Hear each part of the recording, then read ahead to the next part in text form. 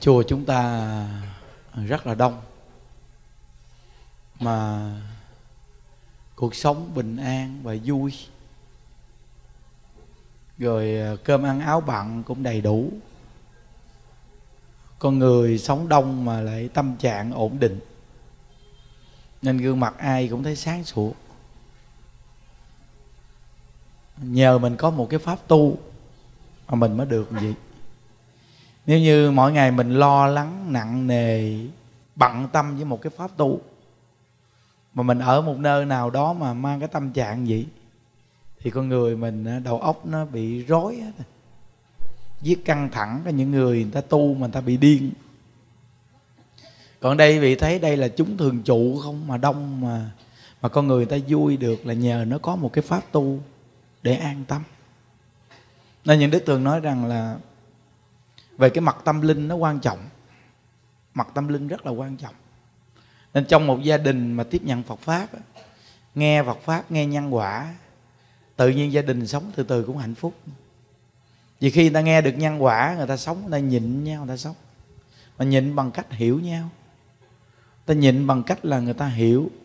Lúc người này nóng thì người kia nhịn. Lúc người này, người nọ nóng thì người này nhịn. Nghĩa là nhịn để nhắc nhau thì nhờ ta nghe Phật pháp nó mới mới gây dựng được một cái gia đình hạnh phúc. Ví dụ như chùa người ta đông người gì? Trong một cái hội chúng đông gì mà người ta ngồi phân phát im re, thì thấy người ta đông người vậy mà người ta nghe nói chuyện có ai cầm điện thoại bấm không? Nhưng quý vị thấy vị họp một cái tổ chức nào đi, không đông gì mấy. Nhưng người trên nói chuyện, người dưới bấm điện thoại. Ai muốn bấm điện thoại bấm à? Thì quý vị thấy cái nền giáo dục ở trong Phật pháp nó có cái hay rất là đặc biệt. Dù rất nhiều người già đó nhưng mà khi à, một người xuất gia trẻ nói chuyện mà các cụ già cũng không ai dám ý kiến ý cò nói chuyện gì mà lu bu lộn xộn. Nếu mà tùy tiện gì nữa đâu còn hội chúng nữa đâu. Thì ta, ta thấy đây là một nền giáo dục đặc biệt. Khi ngồi ăn cơm thì bảy tám trăm người ngồi ăn ngồi phong phát ăn cơm ăn cơm xong rồi ngồi nó niệm phật, không ai dám đi ra ngoài. Chừng nào mà vị thầy đến niệm phật rồi xong, hồi hướng mới được đi ra hết. Thấy một cái tổ chức nó đặc biệt không? Còn nhiều người mình ở nhà có mấy người người bớn tô cơm ăn, có khi vừa ăn vừa bấm điện thoại. Rồi khi ăn trước xong đứng lên đi liền, không cần phải chờ đợi ai. Người ta đang ăn vậy mà mình đứng lên mình đi thì nó làm cho người ta ăn uống không còn thấy ngon, hoặc người ta tranh thủ nên á, mỗi một người mình nghe được Phật pháp nghe được giáo dục nó hay. Cái đó là giống như mình sống mà mình hiểu biết cách sống. Ví dụ như giờ người ta đi đến nhà mình ta ăn uống cùng với mình đi. Mình không phải mình ăn tranh thủ mình đứng lên mình đi. Tại vì mình là chủ nhà mình đi rồi ai ai dám ngồi ăn. Có khi mình ăn mà mà đúng mình ăn rồi đó mà mình còn kéo dài thời gian để cho khách người ta được ngồi ăn. Đó là lễ phép con người mà sống mà có thể nhận thức được lễ phép, thì tự nhiên mình đi đâu cũng được, người ta thương. Con người mà lễ phép là người ta thương rồi con người mà mình không được lễ phép là người ta không thấy thương mình. Nhớ kỹ. Nên đông gì mà sống được bình yên mà rất nhiều tính tình già trẻ, con nít đầy đủ hết luôn. Vậy mà ngồi phân phát được, không có ồn náo thì nhờ một phương pháp tu về mặt tâm linh nó mới thu nhiếp được gì thí dụ như mình đi đâu đi người ta nói cái câu đi một ngày đàn học một sàn khốn mình đi đến đâu thì mình quan sát cái mình học được một chút. Đi đến đâu mình quan sát học được một chút. Cái người đang đi học thôi tương lai mình học một cái ngành nào? Mình đi đến một tổ chức nào mình nhìn cái mình quan sát mình học một chút học một chút học một chút. Đó là cái người về sau nó tích góp rất nhiều cái kinh nghiệm trong cuộc đời để nó áp dụng trong cái cuộc sống. Nên mình mới thành công sự nghiệp. Nó, nên chùa mình vui vẻ, an lạc là nhờ cái pháp môn niệm phật. Nên nhờ niệm phật mà trong chùa bình yên. Tại vì cái chữ phật là chữ giác ngộ. Ví dụ ai bực bội khó chịu gì? A di đà phật, a di đà phật. Còn ngoài đời người ta bực bội khó chịu gì? Má mày, ba mày. Đầu nó lôi ra nó chữ. Còn trong chùa đó không? Người ta lỡ người ta bực bội khó chịu một cái gì, không vừa lòng, không vừa ý, người ta người ta a di đà phật quý vị mà dùng câu ai với đà phật vậy thì hay quá. Mình dùng câu ai với đà phật giác ngộ tâm mình, giác ngộ luôn người ta. Mình nhắc mình, bản thân mình cũng được giác ngộ. Còn ngoài đời người ta không có phương pháp niệm phật. Nên cuối cùng người ta bực tức cái gì? Cái má mày, ba mày người ta chữ tá lả âm binh. Là càng chữ thì càng chữ hai bên cuối cùng. Má mày cũng bị chữ mà ba mày cũng bị chữ tại vì mày chữ má tao tao chữ má mày. Mày chữ ba tao tao chữ ba mày. Cuối cùng chữ qua chữ lỡ nhau, ai cũng bị chữ cuối cùng con ngồi kế bên nhìn thấy ôi công nhận nha ba mẹ mình công nhận giống viên kiếm hiệp ghê. Chữ qua chữ lợi đấm qua đấm lợi nhau. Chắc mình sau này cũng học giống ba mình. Có vợ đấm vợ. Tại vì ba mình quay ghê quýnh mẹ mình te tú xong đứa con gái nhìn nó công nhận mẹ mình quay thiệt. Ba mình đánh bả bả chữ lại bả cho chỏ ba mình. Mình sau này mình có chồng mình cũng giống hệt mẹ mình nó mới quay nghe. Đó, thấy không? Từ nơi cái hành động của cha mẹ mà nó nó nó làm cho con phải học theo. Nên cái hành động của cha mẹ là một nền giáo dục để dạy con. Thí dụ như bây giờ đi, mình đối với cha mẹ của mình mình hiếu thảo, thì con mình nó ngồi nó nhìn thấy. Nó thấy cha hiếu với cha mẹ của cha, hiếu với cha mẹ của mẹ. Thấy không? nên từ nơi đó mà đứa con nó nhìn ô công nhận cha mình nghe, không có đạo đức thiệt nghe. Đối với cha mẹ, đi làm bận bịu gì đó nghe. Mà đi về cái là mua cái này kia cho mẹ, cho cha. Rồi nói chuyện ngọt sớt, hỏi thăm ba mẹ. Mình sau này lớn lên mình cũng hỏi thăm cha mẹ mình. Y rang như cha mẹ mình mà. Mà đối với sự với cha mẹ của họ mình phải học theo.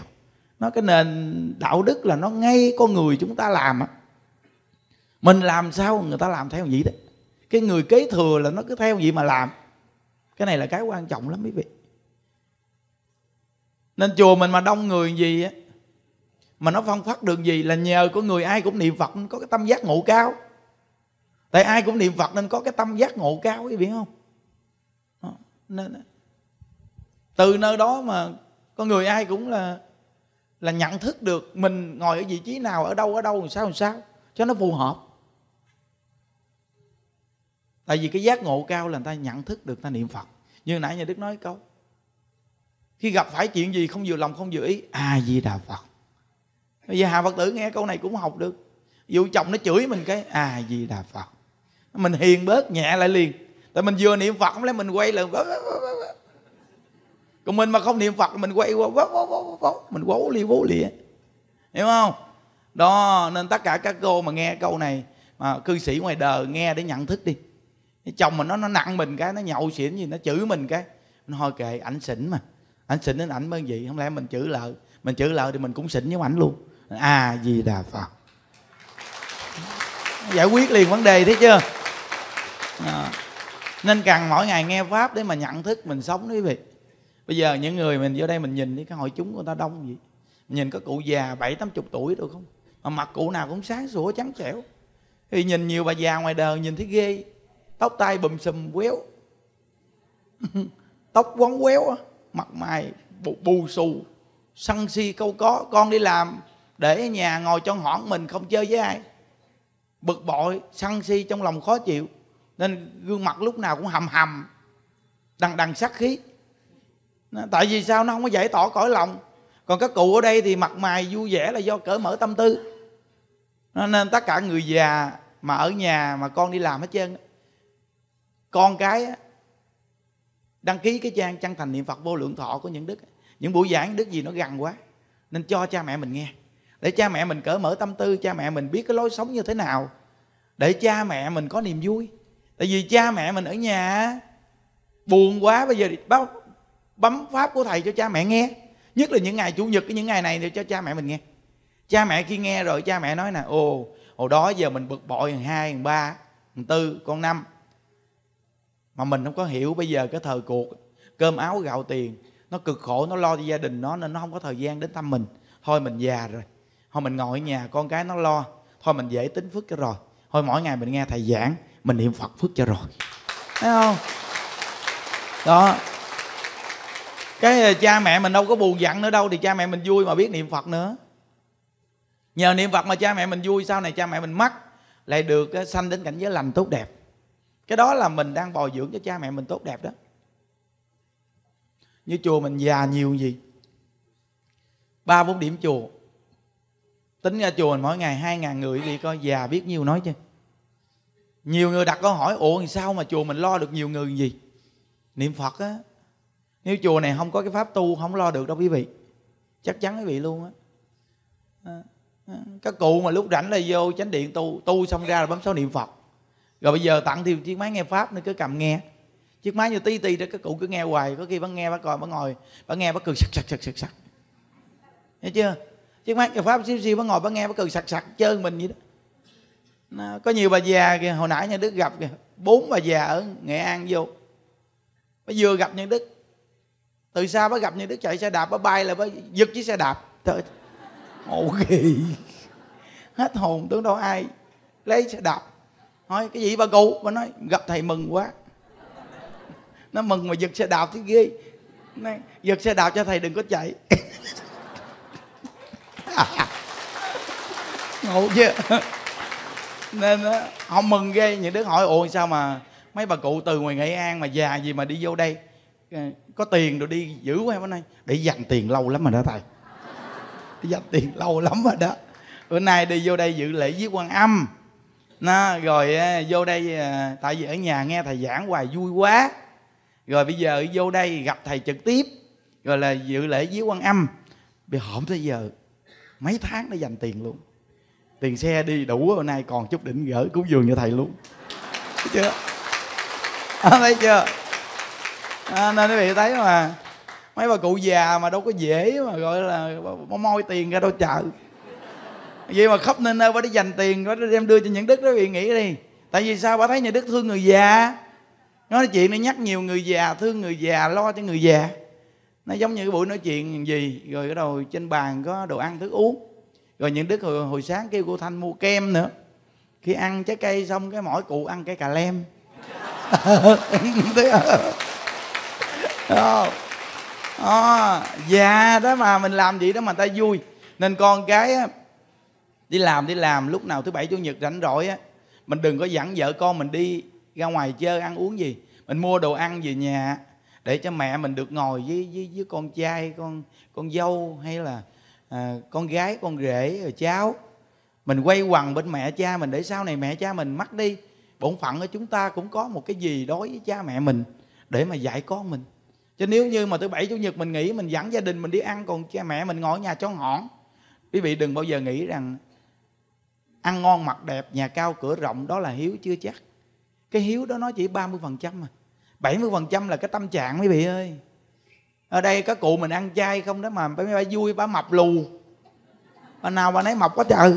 Thấy chưa? Hiểu không?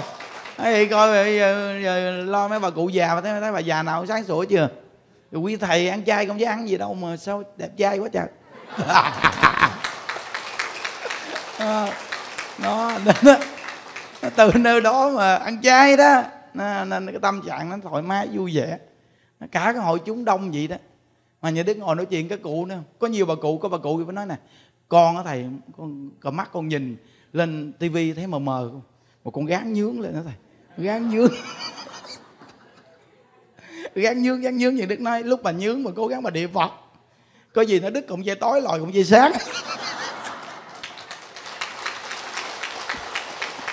Thấy chưa? Nên quý vị thấy nhiều bà cụ già bà, bà, bà thích mình vì mình thương mấy bà. Thí dụ như bây giờ mình thương người nam người nam thương mình mình thương người nữ người nữ thương mình. Mình thương người già người già thương mình. Mình thương con nít nít thương mình. Vậy thì trong cuộc đời mình loài người nào mình cũng thương. Vậy thì con người người ta thương lại mình. Mà mình được có niềm vui mình có hạnh phúc. Nên học Phật là sự hưởng thụ lớn nhất của đời người. Vì sao? Vì mình đem cái tình cảm của mình trang trải rộng rãi cho nhiều người. Nên nhiều người người ta cũng quý thương mình dù là ở xa nó chưa gặp mình nhưng mà cái cảm giác người ta quý mình. Người ta ngồi, người ta nói, ô, thầy đức dễ thương quá. Là mình vui rồi đó. Hiểu không? Nó còn nếu như mà mình làm ta ghét nghe, từ xa ta chưa gặp mình ta chưa quýnh mình gì chứ mà từ xa ta nói, dùng cái thứ thấy ghét, chết cho tao. Mọi người nói câu câu câu câu câu là mình chết ngắt á. Chết xong còn bị ngắt nữa. Cho vị biết cái nghe. Nên ngày xưa có nhiều ông vua mà mấy ông bị mắc nước là do ổng ác á ổng ác mà bá gia bá tánh người ta kêu riêu ổng mà mắc nước. Nên một lời ghét người ta ghét người ta chửi chửi mình thôi mà mình tổn phước tổn đức của mình vậy mà mình chết. Còn nếu mà từ xa người ta thương mọi người ta khen khen khen mình thôi. Vậy đó mà mình vui cái cảm giác mình vui lắm. Nên á người ta quý thương mình á, cũng như cơn gió nó cứ hiu hiu hiu nó thổi cho mình mát. Nên á con người mình sống mà được người ta thương yêu hay lắm. Mình thương yêu người ta người ta thương yêu mình nè như thấy không? Những đức bạn biểu gì? Bạn biểu nhưng mà những đức tính thời gian. Nó, rồi còn khuyên các anh em bên cạnh để lo cho các cụ già. Riêng bản thân mình đã làm rồi mà còn chỉ nhiều người để là cùng làm. Để cuộc đời mình bây giờ 42 tuổi, ai biết được mai chết ngắt như sao? Thì mấy anh em tiếp tục mấy ông làm nữa. Có nghĩa là mình đều nghĩ cái chuyện là cho cái người kế tiếp người ta làm cái chuyện này của mình. Cái tâm đó đó, đời mình còn tiếp, nói tới đời người kế tiếp kế tiếp. Cho từng đời già đi qua đều tiếp tục được nhờ những cái người mà mình truyền tải tư tưởng. Nên tại sao mà với Phật A Di Đà mà ta đốt qua đăng? Nghĩa là truyền đăng cái giống như là một ngọn đèn sáng truyền cho nhau từng đời từng đời truyền xuống. Cái tốt truyền xuống để từng đời từng đời mà làm để cho lợi ích cho nhân loại cho mọi người. Này quan trọng lắm nhớ kỹ. Bao nhiêu cụ già mà vô chùa mình đó, đâu phải cụ nào cũng giác ngộ đâu có nhiều cụ cũng gặp tình trạng, tình hoàn cảnh gì trong cuộc đời. Có cụ cũng buồn khổ lắm. Thật sự mà nói, trong cái cuộc đời con người đa phần, ai cũng muốn mình khi sau này về già, chúng ta gần gũi bên con cái, cháu chắc. Nhưng mà có những khi cái cuộc sống bây giờ nó không theo ý của mình nghĩ. Nên khi mà mình ờ, gặp một hoàn cảnh gì lại nó xuất hiện ra những cái điều mà trong cuộc đời mình cũng chưa từng suy nghĩ. Có nhiều người già ngồi đây cũng chưa từng suy nghĩ rằng bây giờ mình ngồi trong chùa, mà mình cũng không ngờ trong chùa mà vui gì có nhiều người ta nói vô chùa là tiêu. Cửa chùa là một cái nơi mà gọi là tứ đại giai không không có gì chứ vì biết rằng là chùa mình nói chuyện mà vui vẻ vì còn cười cười có nhiều nơi không có được cười. Quý vị không có được cười. Vì phải ngồi im gu nhắm mắt lại. À, ngồi im gu nhắm mắt lại phải khép miệng luôn. Không được hảo miệng ra nữa chứ còn khi mà đối thoại nói chuyện với nhau, có khi không mắt cùng mặt nhìn được. Có khi mắt phải nhìn xuống. Bởi vì có khi té xuống hầm, bắt bắt tỉnh. Hiểu không? Nên những đức nói rằng là cái pháp tu gì? Một đời vui, một đời thành tựu. Pháp môn niệm phật.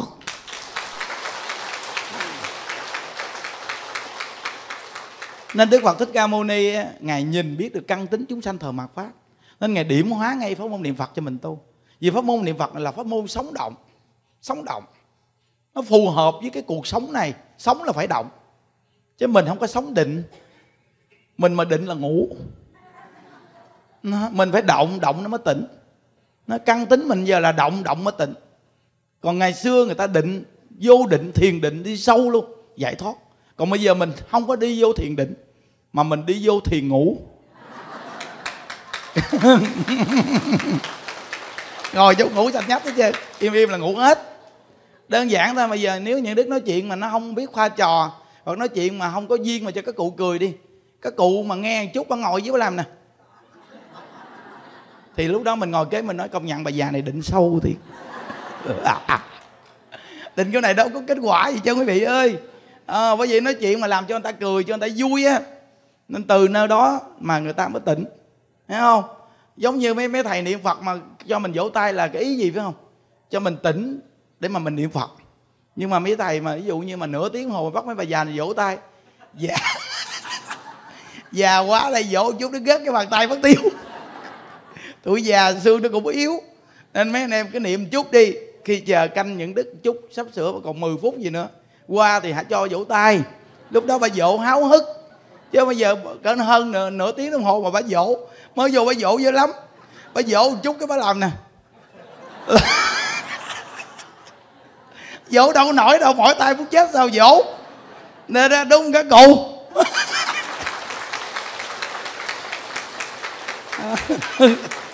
Thật sự mà nói quý vị ơi trong tất cả những cái cảm nhận hãy nghĩ mình là sẽ biết người ta làm sao à. Nên Phật pháp cái hay á mà trong thiền tông á cái câu chuyện mà ngũ tổ hoàng nhẫn ngày dạy. Biết mình là trí tuệ mà nhìn người chỉ thông minh. Nên mình hãy nhìn mình soi xét mình. Thì tự nhiên mình thấy mọi người ai cũng sẽ giống mình lắm. Thí dụ như tính tình mình sao là con người ta sẽ có tính vậy đó. Nên si mình sẽ ra người. Nên cái thông minh của mình và trí tuệ mình phát triển được là do mình biết được mình đang nhu cầu gì. Và bản thân của mình thích bê tha làm sao. Con người mình là đa phần gì nè quý vị? Thích á, bỏ vốn ít nhưng lời nhiều là điều thứ nhất. Làm ít mà thành quả cao. Thấy không? Lên tu đừng có tu nhiều nhưng công đức thì phải thù thắng. Đúng không? Đó. Căn tính mình là vậy mà. Nên từ nơi đó mà đức phật ngài điểm hóa ngay niệm phật một câu phước sanh vô lượng lễ phật một lễ. Tội diệt hà sa. Thấy chưa?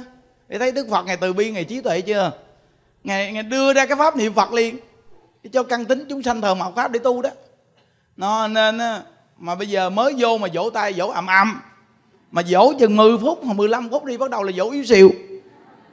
Dỗ chút cái mình kêu dỗ lớn lên cái bà, ừ ừ à, nhưng mà có khi trong tâm bà bực bội đó mỗi tay quá bực, bực bội chứ vì vẫn chơi đâu nghe. Nên mình cứ lên niệm từ từ cho bà hiu hiu đi. Ngồi chơi nghiêu ngao một chút rồi mình canh khoảng còn 6 7 phút nữa bắt đầu mình nói các cụ ơi chúng ta cùng vỗ tay niệm phật các cụ ờ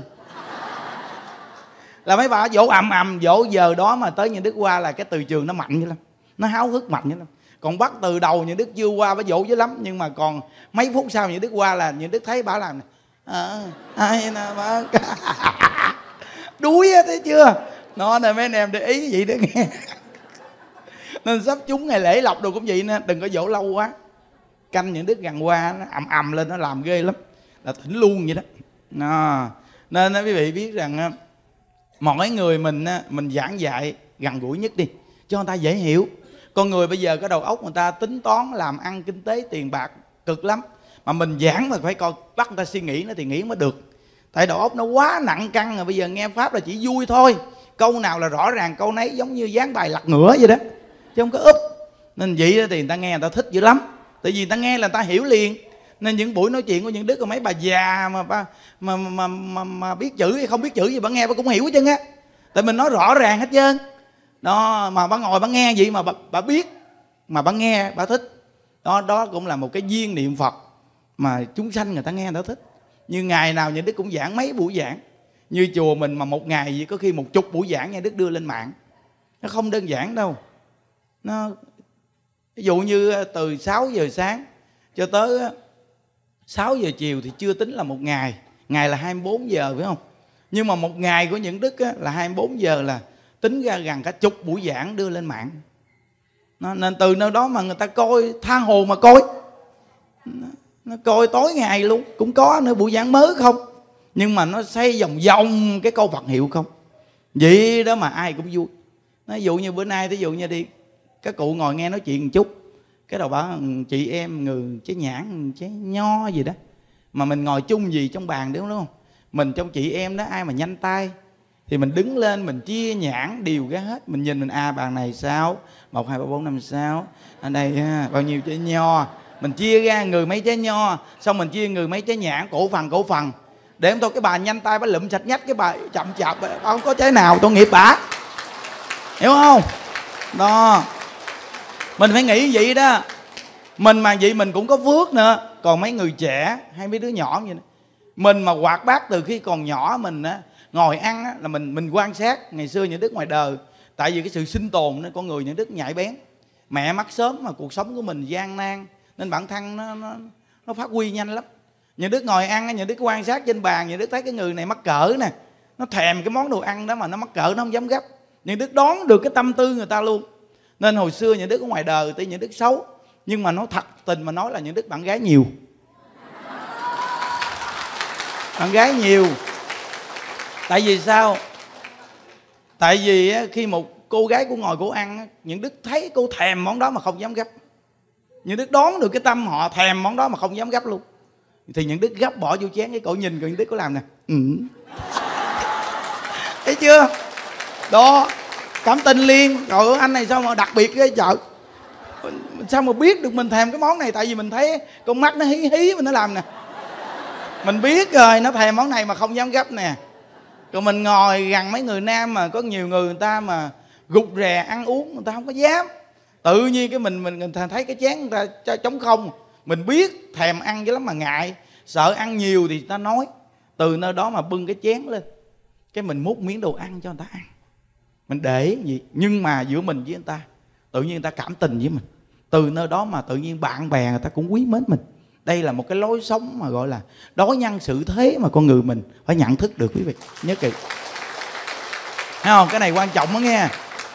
Nó nên cái đối nhân xử thế nó gần gũi, quý vị. Nó gần gũi. Tự nhiên người ta quý mến là thương mình. Còn bây giờ mà mình ngồi, mình ăn chung với người ta trời ơi, mình gom đồ ăn, mình vớt sạch nhách chân thôi, không có bạn nào nó dám chơi với mình. Nó chơi với mình là nó nhịn đói. Bây giờ đi, mấy bà cụ già đi, ngồi chung với bà nào bà đó bà ăn ác đạn có có chùm nho một mà bà bư cầm nguyên cái chùm nho bỏ vô miệng qua nhai gút gút gút gút. Kỳ sao bà đó, tôi nói, đố mà thì sao mà tôi mà đi lợi tôi ngồi chung với bà nữa. Mỗi lần mà tôi ngồi chung với bà là bà vớt sạch nhất tôi chưa kịp gì chơi bà vớt hết trơn. Mình chơi vậy mình có bạn, cái cụ u nghe không? Nó, ăn uống phải chia nhau mà ăn. Nó giống như mình mình mình nấu lên nồi lẩu đi. Mình là người nhanh tay thì mình là người nhảy bén là sao? Là mình biết trụng rau rồi mình gấp cái dĩa. Đầu tiên là cái, trong cái đồ bỏi đó nó chín sẵn rồi. Thì mình phải nhanh tay mình gấp đồ bỏi ra. Rồi mình nó bỏ rau vô mình trụng thì nó mới ngon. Còn nếu như để đồ bỏi một đống trong đó mà rau mình mình nhặn vô luôn thì cái cái cái lượng đồ đồ bỏi nó nhiều quá rau nó không đủ sức nóng của của nước nó nó nó không có trụng rau được ngon. Nên trước nhất mình phải lụm đồ bỏ chín ra để chi? Để cho mình ăn lai rai. Rồi rau mình bỏ vô trong cái lúc đó mình ăn đồ bỏ lai rai. Rồi đầu mình gấp rau ra là mình ăn tiếp tục thì mình không bị gián đoạn cái ăn. Hiểu không? Đó cái từng chút từng chút vậy đó mỗi một con người mình phải nhận thức. Nó, tại vì sao những biết biết điều này? Vì bản thân những đứa cũng ham ăn ham ăn nhưng mà mình phải khéo léo trong cái ham ăn. Ngày xưa những đức ngoài đời á, ngồi ăn những đức ăn giả man lắm. Nhưng mà khó ai đón được những đức ăn nhiều. Những đức là ăn là cái cái bệnh ăn nhanh. Nên những đức thường đi đến nhà ai là những đức kéo tới kéo lui cuối cùng những đức ngồi kế nồi cơm. Tại vì sao? Những đức chấp nhận bỏ công bữa cơm cho người ta nhưng mà những đức thoải mái bữa cơm cho mình. Tại mình ăn nhanh. Mình ăn nhanh mà bây giờ quý vị biết rằng mình chỉ cần mà mình đưa chén cơm cho người ta bớ hoài là mình thấy ngại rồi. Nên bản thân mình chịu khó bớ cho người ta để mình bớ cho mình. Tên nào ăn nhanh thì được, nhiều thôi. Mình ngồi ngay đầu cơm là chắc chắn mình ăn nhanh là số 1 đó, rồi khi ăn lẩu là những đức là người thường gấp đồ bỏi. Những đức gấp đồ bỏi thì những đức sẽ biết được cái miếng thịt nào bự. đức góc ra dĩa. Đức góc ra dĩa. Rồi như đức trụng rau thì như biết loại rau nào ngon như đức thích ăn. Thì như đức đã là chủ sĩ trụng rau, gấp đồ bỏi thì như đức có quyền gấp vô chén của mình luôn. Được không? Đó. Mình siêng năng một chút mà nó cũng tiện quý vị ơi. Ừ đó đó là thật sự tôi nói tôi cũng ham ăn. Nhưng mà ham ăn mà tôi khéo ham ăn một chút tôi khéo một chút nên tôi được ăn. Tại ngày xưa tôi mất mẹ sớm, tôi nghèo, tôi khổ quá. Tôi mà không khéo léo thì sao tôi có cuộc sống? Tôi phải khéo léo một chút chứ. Nó giống như ngày xưa những đứa còn nhỏ nhỏ đi mót lúa cái cụ thấy mót từng bông từng bông lúa lâu quá cái cụ ơi. Cuối cùng những đứa nhìn cái xa xa suốt đã cái cục. Cái xa suốt suốt lúa mà mùa mưa hay mùa khô gì chứ. Người ta suốt xong là nó ưa quến vô mấy cái cái xa suốt cục cục cục cục cục cục lúa nhiều lắm các cụ ơi. Xong những đức mới bưng nước nôi rồi cho mấy cái ông mà chủ xa suốt xong mình mới bắt kèo với mấy ổng là thôi ờ, em hay con gì đó. À, giờ đi đi mót vậy cho cho con đi theo chú. Xong á là cứ như thế nào đứng ra suốt vòng vòng suốt xong cái tới chỗ nào ngừng lại cái mình moi một cái cũng được một thùng.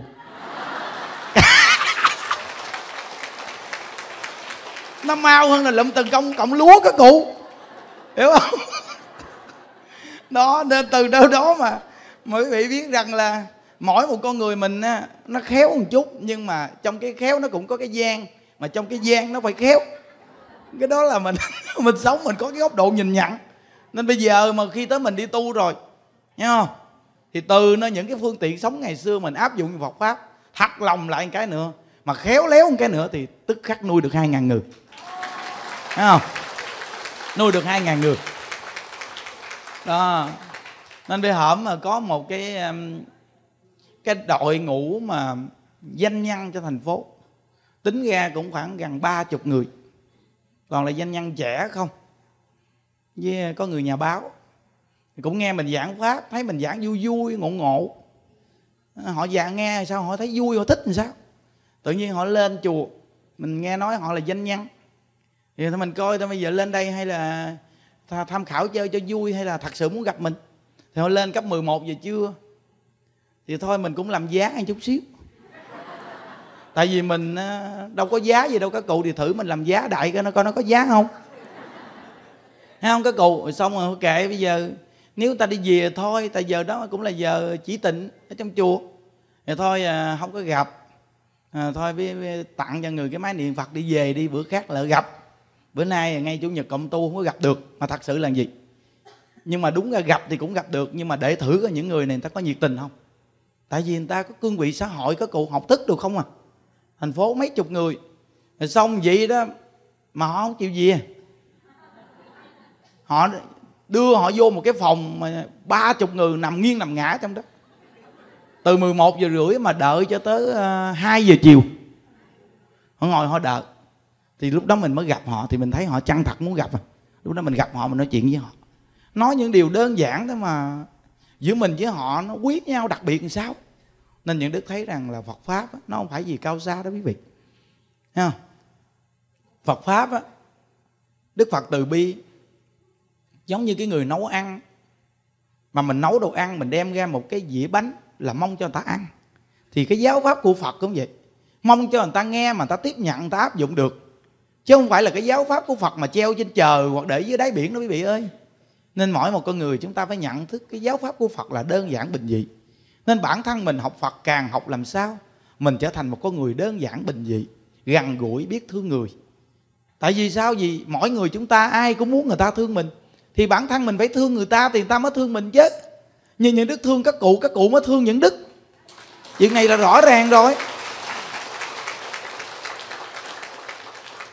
Hồi đó những đức mới xuống hộ pháp, những đức không có tiền bạc chứ. Những đức quan sát chùa mình 200 người mà không có tiền gì chứ. Lâu lâu người ta cúng một cái, được chút đỉnh. Có những việc những đức làm mà kể cho mấy anh em nghe để mấy anh em rút kinh nghiệm luôn. Trời ơi, cúng được có một chút mà như đức đâu có tiền gì đâu. Mà lúc đó nếu mình nói với các cụ mà mình không có tiền thì mình hiểu tính mấy bà già. Mấy bà cụ già mà. Mình mà nói mình nghèo, mình không có tiền bà sẽ dự trữ tiền. Tại vì sao? Vì mình khổ quá, lỡ mình có gì mình trẻ, mình còn đường mình chạy. Còn bà già mà mình mà bỏ, bà thì bà sống làm sao? Bà phải coi tình thế, bà mới sức tiền. Thì bây giờ lúc đó mà mình đi than thở là bà không bao giờ cho mà bà bỏ đi đó. Nên mình lúc đó ai mà cúng được chút là những đức nấu lẩu cho ăn. Cúng được chút là nấu đồ ăn ngon cho ăn rồi xong những đức nói yên tâm. Không bao giờ thiếu, yên tâm không bao giờ thiếu. Nhưng mà vừa nói xong, những đức lên phật, những đức quỳ xuống đức nói nè, phật ơi, con cũng lạnh quá. đó. Nếu bây giờ phật mà gia hộ thì bây giờ kêu ai lợi cúng cho con với con bây giờ là, là thấy con con con te tua rồi đó. Ngày mai mà không có tiền là đói chết mồ luôn không có giỡn đâu mà giờ người ta niệm phật mỗi ngày. Giờ con nói mạnh dạng cho chúng ta yên tâm. Chứ bây giờ trước nhất người ta yên tâm đi chứ giờ người ta không yên tâm không ai phụ mình đâu phật ơi. Thì những đứa đi con đường đó đó nghe. Vậy mà nửa tháng sau mấy ba bạn nha bà nói nè. Ông này có tiền chứ không phải không có tiền yên tâm thì ở đây là không sao. Vậy mà cuối cùng nghe mấy bà già ghê lắm. Nhìn già đó mấy bà tích lũy lắm mấy bị hưu giải rồi bỏ quắn vàng quắn tiền ở trong quá trời. Lúc đó mấy bà mới, mới mới đem ra. Đưa từng chút từng chút bà đưa những đức thì những đức nuôi lại bà đưa thì nuôi lại bà. Vậy mà cuối cùng gầy dựng bây giờ thành ba ngôi chùa hai ngàn người. Ghê không? Cái khởi đầu là hai bàn tay trắng nhưng mà nếu mà lúc đó mà đi năn nỉ đi xin ta là kể như mình thua. Nhờ cố gắng tin phật, niệm phật mà đứng lên. Mà bây giờ mà chúng mình đầy đủ gì các cụ. Nên cái công đức niệm phật là là cái công đức vô lượng, vô biên. Nên cái người nghèo, khổ, bệnh hoạn gì mà chỉ cần chăng thật tin phật, niệm phật đi. Tại vì sẽ thấy hay lắm. Những đức 15 năm nay đi tu, đi học ở đâu, chỉ có niệm phật không á, mà được lợi ích gì đó. Mà các cụ bây giờ mà sống bình an, đầy đủ cuộc sống, đồ đạc, đồ bặn ngon lành có bà cụ nào ở chuồng đâu? Thấy chưa? Quý vị coi chùa đông y y y vậy đó quý vị coi cái tổ chức của người ta. Tổ chức rất là đông. Mỗi tuần là có người ủi đồ đàng hoàng. Quý vị coi mấy bà cụ già bận đồ đi. Có bà nào mà đồ nhăn nheo không? Rồi mấy chú rồi mướt rượt. Như là bạch công tử. Thấy không? Nó nó nghĩa là cái tổ chức mỗi điểm chùa là đều ban bố ra cái tư tưởng nhân viên. Là mỗi một con người là tới từng ngày nào ngày nào đem đồ lại là có người có ban tổ chức ủi đồ đàng hoàng. Nó ủi hết trơn nên đồ bà già bẩn thấy chưa? Nó già vậy đó nhưng mà thấy mặt mày chưa? Cạo râu ria sạch sẽ. Nó rồi mấy cô mà chăm các cụ già lại có khi buổi trưa rảnh rảnh ngồi cắt móng tay cho các cụ. Cho họ mình nhìn, mình đi ngang mình nhìn vậy mình thấy mình mình vừa lòng ghê.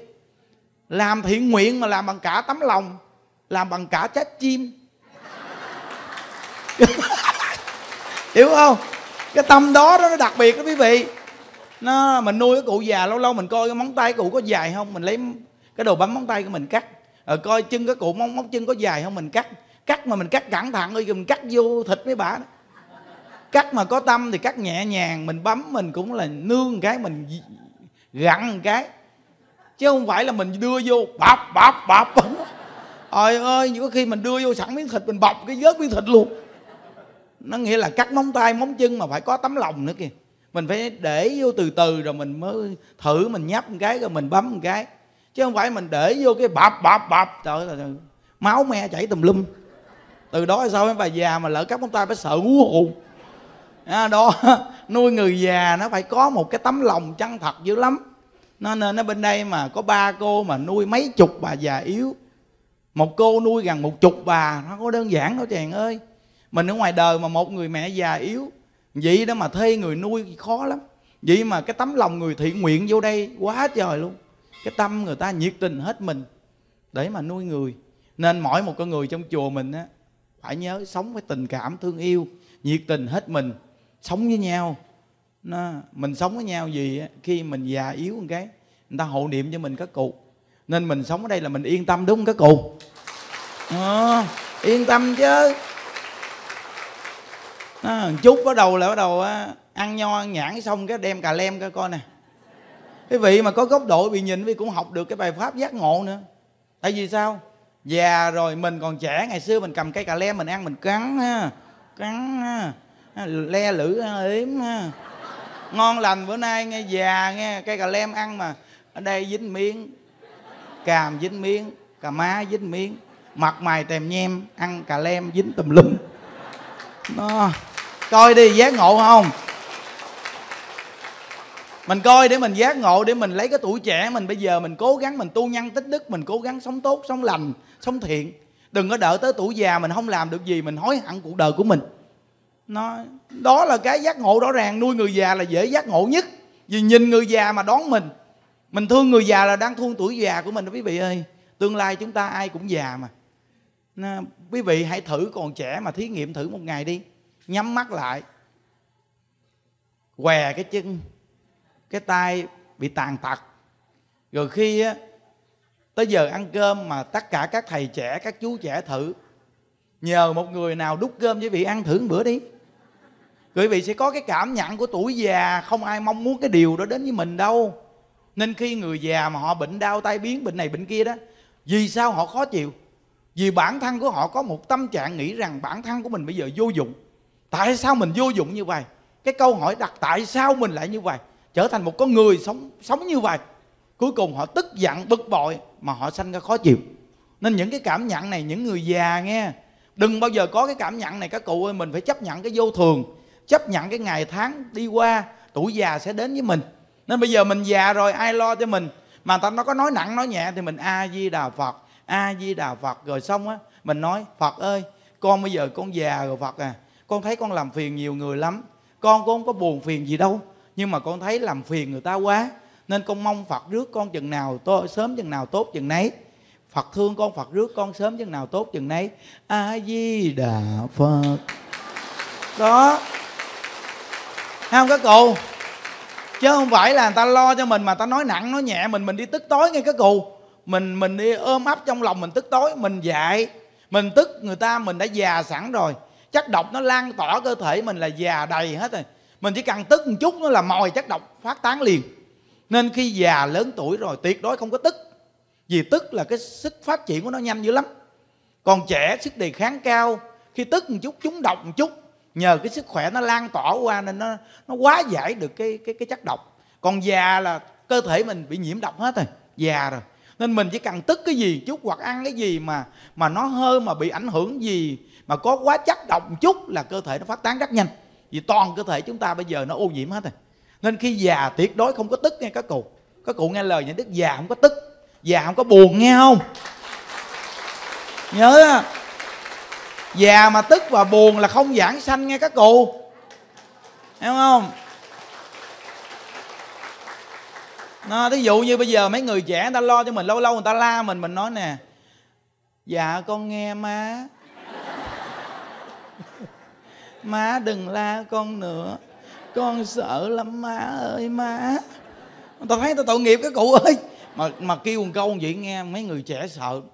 Công nhận bà già này kinh quá mình đừng có nói câu gì nghe các cô mình đừng có nói câu là, cô đáng tuổi con tôi, tại sao cô la tôi, tại sao cô đối xử với tôi như vậy? Đừng có nói gì. Mà các cụ nói ngược lại, cụ nói dạ thưa má, con sợ lắm má ơi.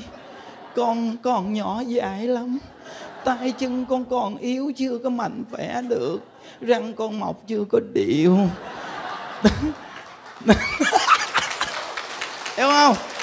Nên chỉ tất cả các cụ già luôn khắp nơi nơi ngoài đời luôn nghe hãy dùng cái câu ngược lại. Đừng có kêu người ta, mày mày mày đáng tuổi con tao. Tại sao mày nói mày nói chuyện với tao như vậy? Đừng có nói gì. Các cụ kêu nó bằng má, bằng cha không?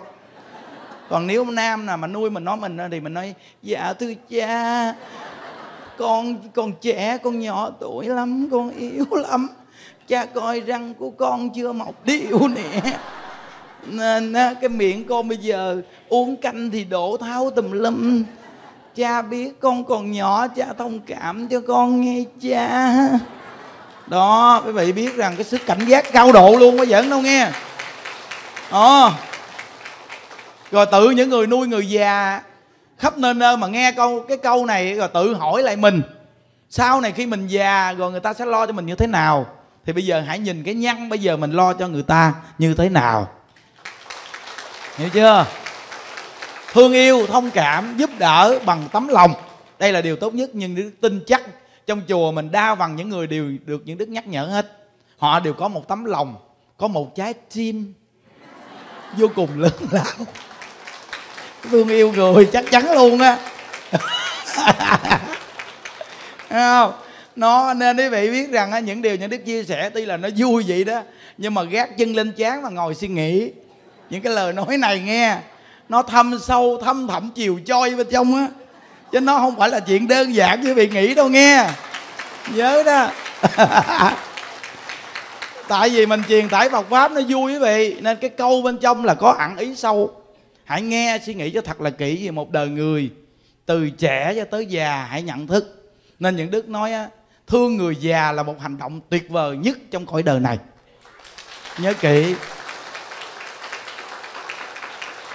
Nên chùa mình mấy anh em nam nè, rồi mấy cô trẻ vô chùa mình là đúng là một ý nghĩa của cuộc đời mình đẹp lắm mấy anh em ơi. Những đức nói như, ở đây thì có những lăng, những trí rồi những thị, những thiện mấy anh em đồ. Bên kia những quan những tịnh đồ mấy anh em đồ kết hợp nhau. Để mình cùng chung tay nuôi người già ngoài bảo tháp á, thì có chú tâm rồi ờ, chú nhăn, chú ờ, chung đồ, rồi ờ, tâm huệ đồ này kia ha. Đó là anh em mình kết hợp nhau, bên hộ pháp thì có những ăn rồi những ngôn mấy thầy mà gom gần 2.000 người mà mình, anh em mình đứng ra để mình làm những việc này, ý nghĩa trong cuộc đời. Ơn hòa thượng thì xây chùa rộng rãi như gì? Còn anh em mình tuổi trẻ thì giữ chùa và nuôi người. Đây là một cái việc làm mà nhân văn, ý nghĩa trong cuộc đời lớn lao dữ lắm. Nên mấy anh em nên chân thật phát tâm rồi vài ngày nữa nè. Bữa nay 12 còn có 8 còn có 6 ngày nữa à. là tới để lễ viết Bồ Tát quán thế âm mấy chục ngàn người nó đến ba ngày xuyên suốt. Đúng không? 19, 20, 21, 3 ngày. Nó, mấy, mấy chục ngàn người người ta ở trong chùa để người ta tu xuyên suốt 3 ngày. Đó, có nghĩa là mình đều phát một cái tâm chân thật Bồ Tát đạo nhiệt tình hết mình phục vụ chúng sanh. Nó nhớ các cụ đồ trong chùa nghe. Mấy ngày đó người ta về đông đúc nhà vệ sinh đồ người ta đi chặt chội nghe các cụ. Mình là người tu trong chùa quan hỷ nghe các cụ này là nhắc thôi chứ các cụ chùa mình thì quan hỷ lắm hiểu không? Nó bây giờ gì nè? Ở ngoài chú tâm bữa đó đó người ta vừa cúng dường những đức được 200 cái bô. Một số mấy bà cụ yếu yếu mấy ngày lễ với quan âm á, coi phát mấy bà. Để lỡ mà nhà sinh nó chặt quá mấy bà cụ mình có chỗ ngồi tại chỗ vệ sinh di động. Hiểu không? Bữa đó người ta cúng những đức được mấy trăm cái bô đem ra ngoài chú tâm đó. Thì coi bà cụ này yếu yếu thì đưa bán cái mượn. Xài xong rồi qua lễ tịch thu lại hiểu không? Ờ à, cũng tiện đó các cụ. Lỡ bác tử mắc gì sinh quá mà không có nhà vệ sinh thì các cụ có cái bô để dự trữ. Thấy không? Cụ nào muốn muốn mượn bô thì ghi tên vô. Mượn xong qua lễ trả lại. Hiểu không? Nó hai trăm cái bô mà xịn lắm cái cụ ơi bô đẹp ngon lành luôn. Ngồi cái bô này xịn lắm. Cái bô này là thí dụ như mong ai mà nhỏ thì ngồi vừa mong ai bự cũng vừa tại vì có độ co giãn vô cùng tuyệt vời.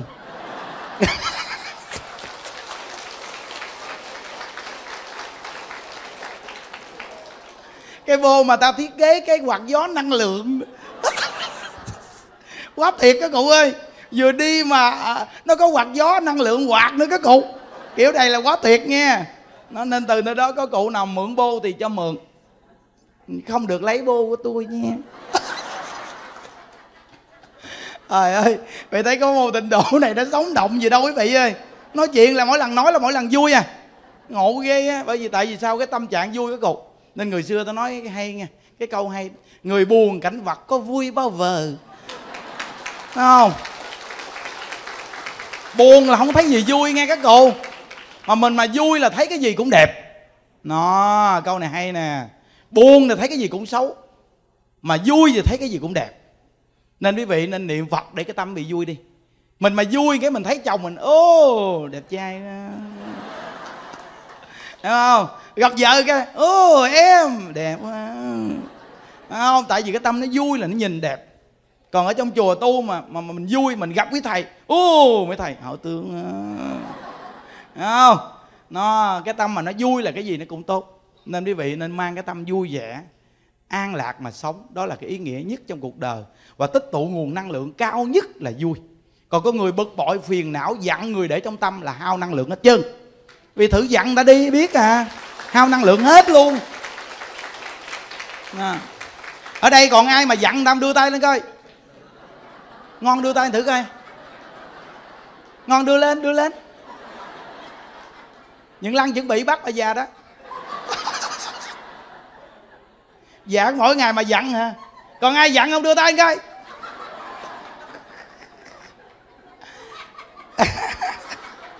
Các cụ nhớ nghe, dặn người là khổ mình nghe các cụ.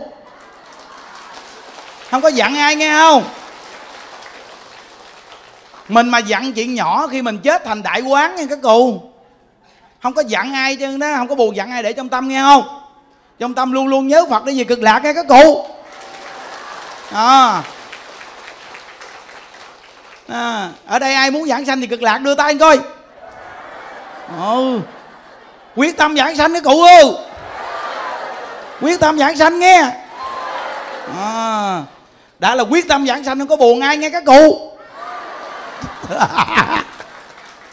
Đúng không? Hẹn đời này về cực lạc cụ ơi. À, đó phải đồng lòng vậy nghe. Ôi bao nhiêu người này mà về cực lạc làm phật hạnh phúc biết bao nhiêu nói. Quyết chí cụ ơi ờ quyết chí. Ôi chúc vị an lạc nha ai về đạo phật. Nguyện đem công đức ờ, này hướng về khắp ờ, tất ờ, cả đệ tử và chúng sanh đồng sanh về tịnh độ